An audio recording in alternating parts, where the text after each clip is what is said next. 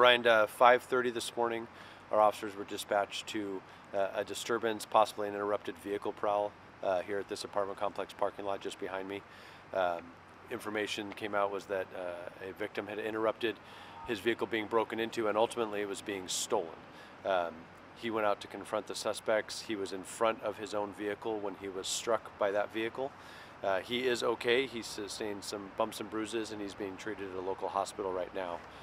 Uh, however, after he was struck um, with that uh, vehicle, uh, he fired one round uh, from a handgun at the at the at his vehicle and, and the suspects. Uh, the victim is a off-duty Seattle police officer. Seattle police have been notified. They have an investigation team on the way here as well. The Edmonds police are the primary investigators for this incident. Um, but because this is considered an officer-involved shooting, Seattle has sent their own team up here as well. Their command staff has been notified uh, as well.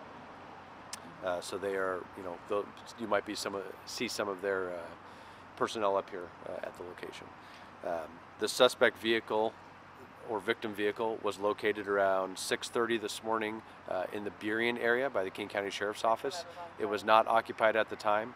Uh, we are sending Edmonds police officers down to the scene in a, in a tow truck to recover that vehicle as evidence, and then that will be part of our ongoing uh, criminal investigation. There'll be a search warrant for that vehicle um, and any evidence that might be recovered from there. Um, the round that was fired, we have evidence to support only one round was fired, um, and there were no injuries here at the location or in any surrounding area from that round. Um, we do not know if it was the officer's personally owned handgun or a department issued handgun. That will be part of the, uh, the investigation. We've talked to the, the officer briefly, uh, got initial information when the officers first got here, um, but he's now been taken to a hospital and there'll be follow-up investigation with him.